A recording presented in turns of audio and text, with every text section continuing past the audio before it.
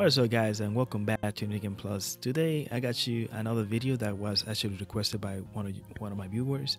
Um, previously I released a video showing you that the emulator, the Play PS2 emulator was updated to version 0.6 CA and um, I saw that you guys left a comment wanting me to try uh, Need for Speed Most Wanted again running in the new version of the emulator.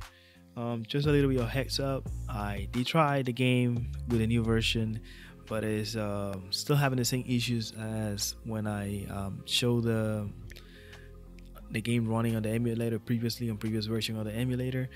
But um, I'm gonna show you a few things that I actually kind of like learned while testing it, which um, I'm gonna leave you guys uh, watching the video. I just gonna have some annotations because I don't want to spoil everything that I found out. But I will leave it to you guys so you guys can actually see what I did with some parts of the video so you guys can see exactly what I'm talking about. And hopefully I hope you guys enjoyed the video. And once again if you have any questions uh, please make sure to leave it like below below in the comments. And also all the links for the emulator again just the emulator no games because I can't do that. Uh, just the emulator information stuff is going to be down below in the video description as always and as well as another tutorial for using JIT because once again I always say it this emulator needs to use JIT in order to run on iOS.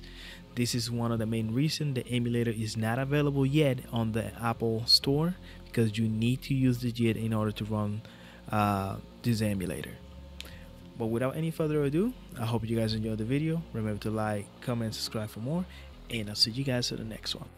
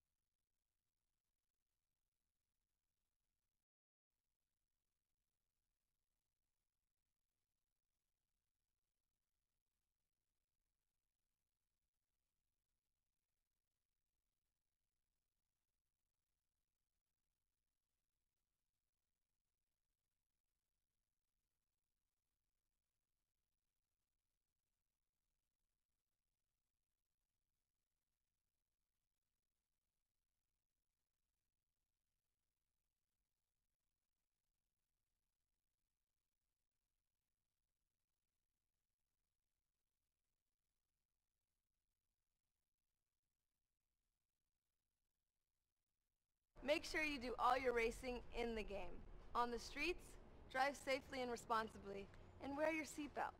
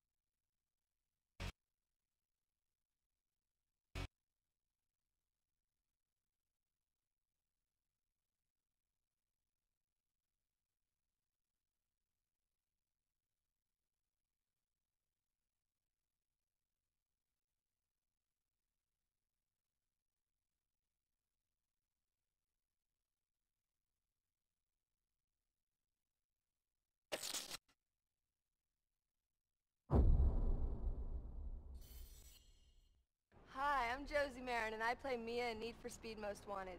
Make sure you do all your racing in the game. On the streets, drive safely and responsibly, and wear your seatbelt.